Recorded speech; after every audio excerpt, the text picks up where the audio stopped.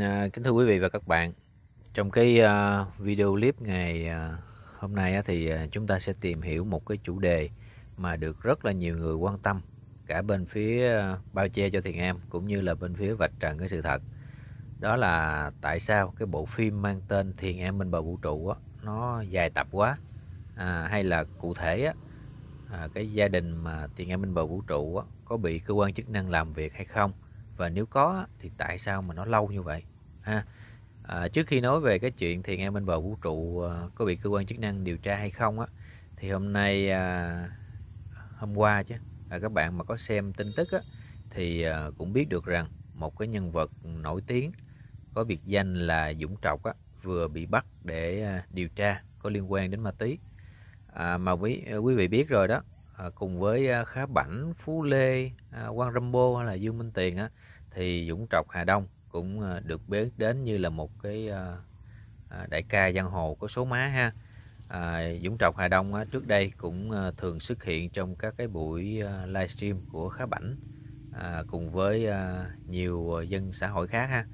À, các video clip này á, thường à, chỉ kể về cuộc sống hay là những cái mối quan hệ của những những giang hồ với nhau và năm 2012 thì ờ, Dũng Trọc Hà Đông cùng một số người đã gây ra cái vụ ờ, ờ, gây rối trật tự công cộng á, tại câu lạc bộ Nestop thì à, thời điểm đó thì rất là xôn xao dư luận ha. Sau đó thì à, Dũng với lại một số bị cáo khác thì à, cũng à, bị tuyên phạt và nhận án tù. À, nói như vậy á, để à, chúng ta thấy rằng những cái đối tượng mà thích làm những cái việc ồn ào mà nổi tiếng trên mạng xã hội á thì ờ, chắc chắn sẽ rơi vào tầm ngắm của cơ quan chức năng và nhất cử nhất động của họ đều được ghi nhận lại. À, bởi vậy trong cái câu chuyện của thiền an minh và vũ trụ á, không có lý do gì mà cơ quan chức năng ờ, không vào cuộc để điều tra hết trơn á ha. À, bên cạnh đó thì à, trên youtube hiện nay á, có rất là nhiều những cái video clip từng xuất hiện như là thử thách 24 giờ làm chó nè rồi ờ, thử thách đốt nhà hay là làm các món ăn kinh dị này kia đó thì nó vô cùng phản cảm nhưng lại ờ, thu hút được đông đảo cái lượng người xem và bình luận. Trong đó có những cái em thanh thiếu niên nữa. À, bây giờ một số người ờ, chỉ nghĩ đến việc kiếm tiền mà bất chấp rồi tự khoác lên mình cái chiếc áo mà nó nó khác biệt với xã hội á. À, họ cho rằng à, như thế á, mới là thể hiện bản thân à, một cách à, có thể hiện bản thân dễ dàng đúng không? À, chỉ cần một video clip được nhiều người coi nhiều người chú ý là được. Rồi còn hậu quả gì thì kệ mặc kệ. À, vậy thì à, những cái youtuber á, mà bảo vệ thiền am á, thì cũng đâu có khác gì những cái màn biểu diễn vô bổ đó. À, trái lại á, nó còn gây ra những cái tác hại to lớn hơn nữa. Bởi vì à, có hàng chục cái youtuber đang ra sức rồi bao che cho thiền am minh vũ trụ mà họ dùng những cái từ ngữ tục tiểu rồi chửi bới. Nói chung là vô cùng khó nghe. À, mà lại được một số lượng khán giả cũng đông đảo đó ủng hộ rồi nghe theo. Đó vậy thì hậu quả nó sẽ rất là khôn lường. Bởi vì uh, cái vấn đề ờ, tiền an minh vũ trụ á, nó ngoài uh, vấn đề về lương thường đạo lý về trẻ em mồ côi rồi còn tôn giáo rồi còn có thể là có chính trị nữa. Đó nó liên quan rất là nhiều thành phần trên nói chung là trên cả thế giới luôn chứ không có riêng gì Việt Nam.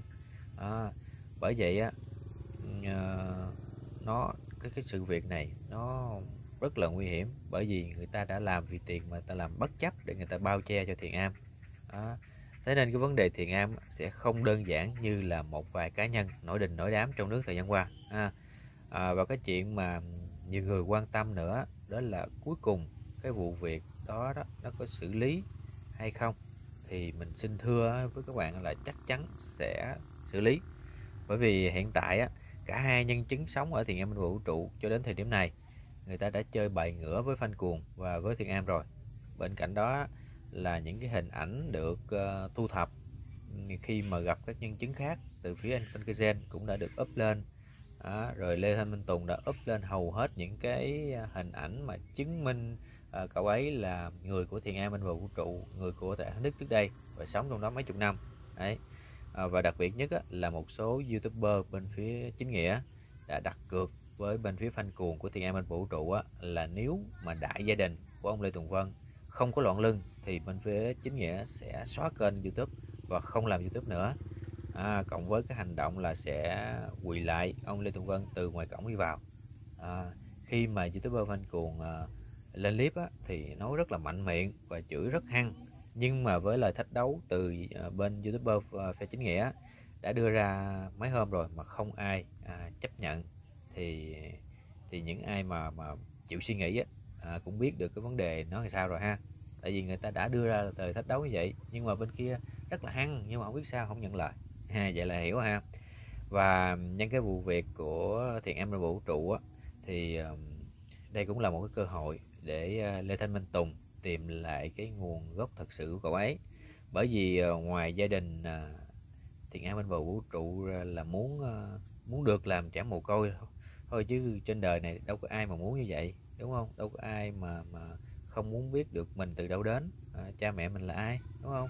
Bởi vậy á lê thanh minh tùng hiện tại ngoài cái mong muốn là đưa sự việc của thiên an minh vũ trụ ra ánh sáng thì nhân cơ hội này anh cũng muốn tìm ra cái nơi chôn nhau các rốn của cậu ấy cũng như là cha mẹ cậu ấy là ai. Đấy, mời quý vị ờ, nghe cậu ấy tâm sự một đoạn ha. Trong 35 năm qua con không biết mình có phải là con ruột hay cháu ruột của cái dòng họ ông Lê Tùng Vân hay không. Nhưng mà sao con thấy tất cả những gì con làm những cái gì con suy nghĩ những cái tư tưởng của con thì hoàn toàn đối lập với cái gia đình của dòng họ Lê Tùng Vân. Thì qua đây, nếu mà có cô chú nào ở vùng Châu Đốc, An Giang là một. Hai là dùng An Phú, An Giang là hai, ba là dùng Cồn Tiên. An Giang có nghĩa là, có nghĩa là cái vùng mà Châu Đốc, An Phú, Cồn Tiên và thêm một vùng nữa là dùng Tân Châu, là An Phú, Châu Đốc, Cồn Tiên và Tân Châu. Và đặc biệt là thêm một thêm chút xíu nữa là bên phía Châu Giang á. Thì nếu ai á, là hồi xưa có biết ông Lê Tùng Vân á, thì có ai biết rõ về ông Lê Tùng Vân? Ở đây con không cần là phải ờ, phải là dịch mặt ông Lê Tùng Vân mà ở đây con đang cần một điều là có thể cho con biết được con có quan hệ như nào, như thế nào với gia đình ông Lê Tùng Vân có thể cho con biết được là cha mẹ ruột của con là ai tại vì con không nghĩ con là con ruột của ông Lê Tùng Vân hay là con ruột của chú Năm và con ruột của cô Tư đâu. Con không nghĩ vậy. Những cái việc làm của ông Tùng Vân á, nó trái lập với những cái gì ờ, cái suy nghĩ của con. Cho nên con hy vọng là con không phải là người trong gia đình đó. Thì bây giờ con nói với cô chú như vậy ông Lê Tùng Vân ông có ờ, hai người cánh tả và cánh phải cánh tả và cánh hữu gọi là tay trái và tay phải. Thì tay trái là cô tư là bà lê thị ờ, ô bà lê thị thu vân đó, là cô tư là pháp sư rồi bên tay phải là có chú năm. Thì bây giờ cái chuyện nó cũng đã rõ ràng rồi, không còn giấu làm gì. Thì có chú năm chú năm là lê thanh vân. Là chú năm là thầy hộ pháp. Thầy ông lê tùng vân, có đệ tử riêng của ông lê tùng vân. Cô tư là pháp sư. Thì có đệ tử riêng của ờ, cô tư. Và thầy và thầy năm là thầy hộ pháp còn gọi là chú năm á, là chú lê thanh dân á, là thầy hộ pháp. Thì thầy hộ pháp có đệ tử riêng của thầy hộ pháp. Thì bây giờ xin thưa với mọi người là ông lê tùng vân sau cái cú sốc này thì ông lê tùng vân có lẽ là cũng không có thể sống lâu được. Cũng chắc có lẽ là mất sớm thôi.